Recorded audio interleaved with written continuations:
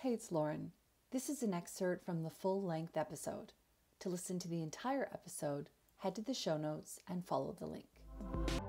Imagine, let's say you're sitting with your animal, no matter who or what it is. You're, the animal's right by you. You picture the word hello in your head. And you picture it specifically. What font is it? Is it Garamond? Is it Calibri? Is it Arial? See it. What color is it? Picture that word in your head. Then you picture the word in, on your forehead very graphically, and you see it on your nose. And then you see it on your chin. And then you see it on your shoulder. And then on your elbow. And then on your wrist. You see it there, really see it. And then on your hand. And then you put your hand on the animal and you see that word hello jump to the animal.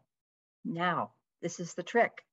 As soon as you've done that, you have to uh, be aware of whatever it is that you hear, feel, see, remember, imagine, because that's the response from your animal.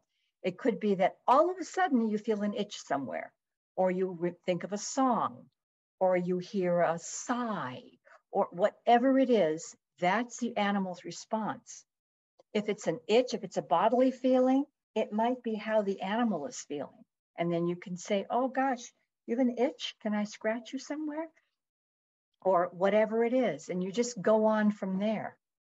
Um, when I first, when I got home after listening to this book on tape, I said to my cat, hello. And the cat said, I want wet food.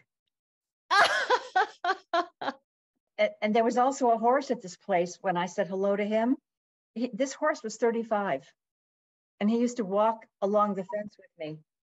And he was demented and he rambled on and on and on, and it was boring because he was an old man.